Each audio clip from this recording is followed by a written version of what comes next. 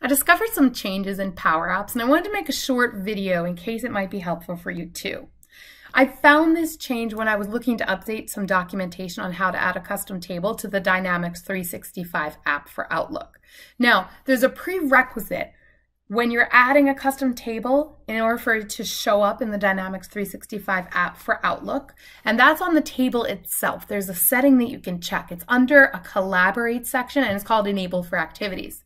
So I thought I was going to log into my system in Power Apps at make.powerapps.com, open up the table and just check that box. But you know what? It's not there. So let me walk through and show you what the new wording is for that. So I'm in my solution file. I'm going to go to new and then select table. And then this is where I'm going to name my custom table. So custom table because we're not feeling particularly creative right now. I'm going to go to advanced options and this is where I expected to find my collaborate heading and enable for activities. But as I scroll down, it's not there. It's different now. It's been broken up into two different areas.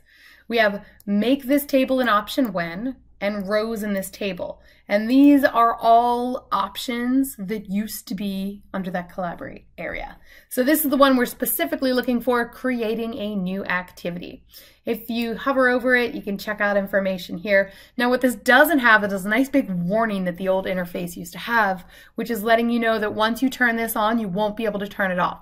So if you check this box and you click save at the bottom, there's no undoing it. That custom table has been enabled for activities or made available, made this table an option when adding new activities.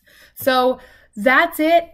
From now on, on a custom table, you're going to look for these headings at the bottom. Make this table an option when and rows in this table. So just as an aside, another one that I use a lot is allow for connections. So this is now under rows in this table, can have connections. That turns connections on for a custom table.